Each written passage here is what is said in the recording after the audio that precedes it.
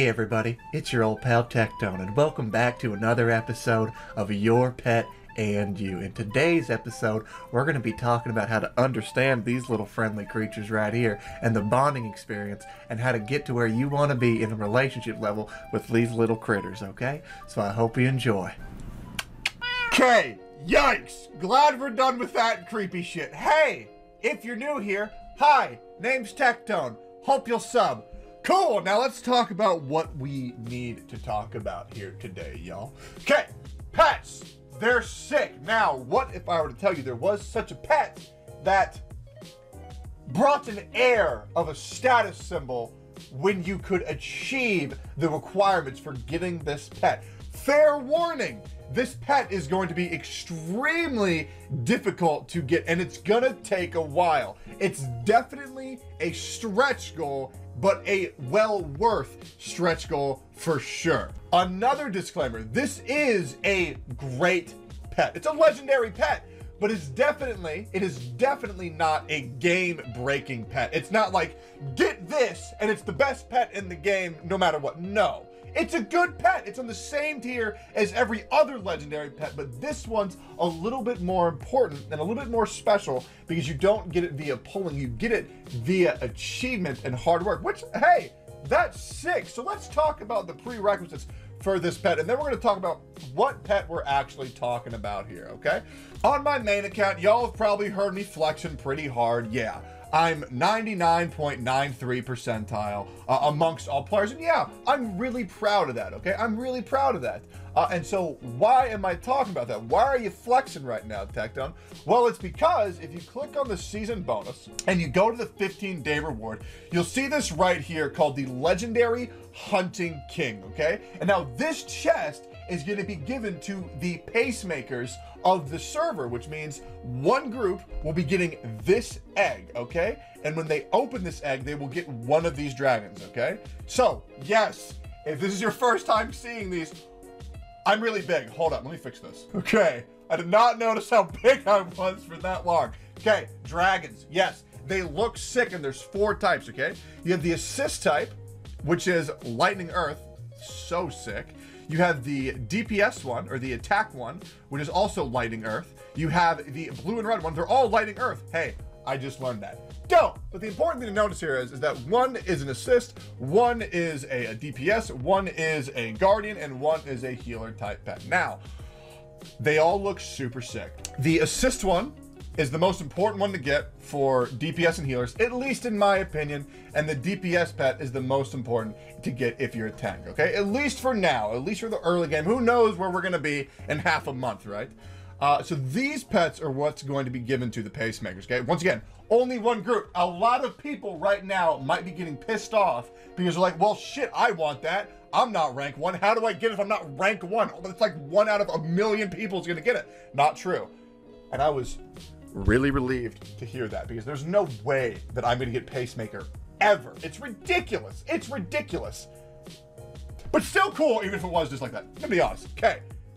But, okay, but, okay, 99% of players, okay, so I'm in there. Sorry, not 99%. 1% of players, so the top 1% of players will be getting will be given a platinum chest, okay? And this will give you a bunch of goodies, which I'll go into later in a different video, but for right now, I really want to talk about this pet. And we're going to talk about the Dragon Balls, okay? So you get four Dragon Balls right here if you're the top 1% of players, okay?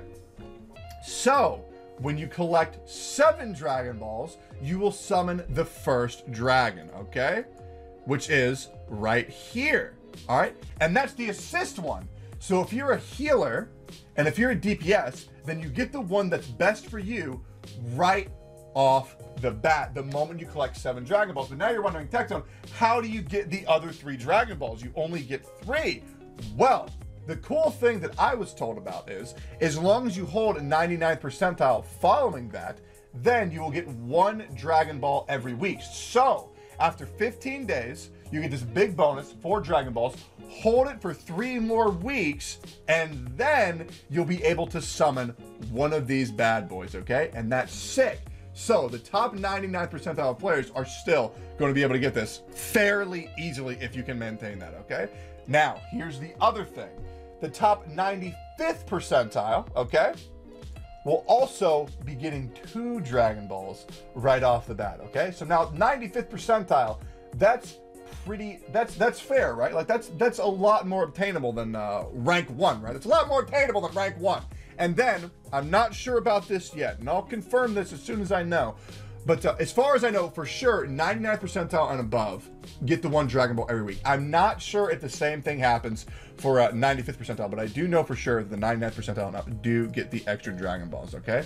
So, why is this so important? Why is this so cool? The reason why this is cool is because it gives you a pet that is more than just a pet. It's more than just deal damage because you have a good pet. It's also a status symbol for anybody who is willing to put in the work. Now, I know what you're also thinking. Tectone, do you mean putting in the work or do you just mean spending a lot of money? And to your point, fair.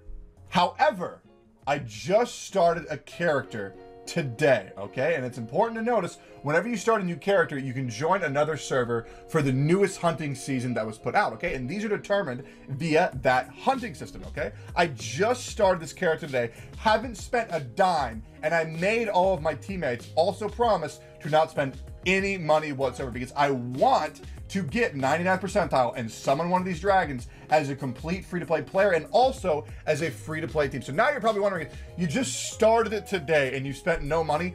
Well, how high of a percentile could you possibly be? 95th, okay? And we just started today and we're not even going that hard. We're going super lackadaisically, okay? So it is within the realm of possibility if we push ourselves hard enough to actually get that. And that would be a true true testament. Now, the other thing that's really important to know is that Dragon Balls are not transferable from account to account. So you do have to get it on that character, just like how all the items in the games aren't transferable between account and account. It is exclusive to whatever character you get it on. So there's no way that I'll be able to cheat and be like, oh, look at the dragon I got on my free-to-play account. But, I mean, shit, they look pretty damn good, huh? But yeah, I really wanted to highlight these units because it's so important to have things that certain players can work on, especially for the upper echelon of whales. Having goals for whales is super, super, super important because, you know, we're playing a mobile game after all. So this will give a lot of people something to aim for and a little symbol of like, hey, here's something for all your hard work. And once again, I didn't say this before, I need to say it now. Um, for people who are getting them week by week, the first dragon you'll summon is the the assist one right here. After that, once you summon it, the Dragon Balls do not go away. You collect nine more. You'll summon the DPS one. You'll collect nine more. You'll summon the Guardian. You'll summon nine more. And then you'll get the uh, little healer one. Healer one. That's the word. So seven, 16, 25, 34. So 34 uh, Dragon Balls in total. So this will take a total of around, yeah, roughly 34 weeks uh, to get in total if you're just getting it freshly off the 99th percentile after the first initial week, which pretty good, right? Pretty good. Not that bad. And uh, hey, gives the game some longevity. You know what I mean? A lot of these games, man, they just they throw in shit. You beat it in like a week, and then you're like, okay, well, why did I play this? I like games with a little bit of depth, a little bit of longevity, and this definitely gives a lot of people something to aim toward. It's kind of like getting gladiator mounts in World of Warcraft, or, or getting like you know your diamond or your or your challenge border in League of Legends, or I don't know the golden shovel in Fortnite. I don't play Fortnite. I don't know shit about that game, but I'm sure there was some type of goal for that game as well. Regardless, I'm really excited about these pets not just for myself. If I don't get one, that's honestly okay. But I am so stoked to be able to see people put in the work get something cool and know that this game means a lot to them because they wanted to work towards something to where they could show that they are amongst the cream of the crop. And then in three years time when people are still grinding on their phones because they have no control because you're going to play when you're offline anyways and they're retired, they'll still have a little medal showing what they once were. It's cool. And I'm sure they're going to add a lot more of these pets uh, from now in the future to give anybody just joining in an opportunity to earn something as cool as like that in case they get a little too late of a start on the game. But yeah, that's going to do it for this one, y'all. I really hope y'all enjoyed this showcase about these pets because it's sick. And yeah, sure, not everybody's going to be able to get them, but regardless, man, it's going to be really cool seeing people compete to try to get those. And now, now I get why people are going so damn hard in this game.